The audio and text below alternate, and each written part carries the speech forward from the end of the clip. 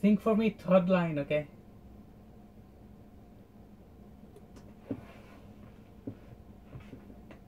And after the solo, that two line, that's it.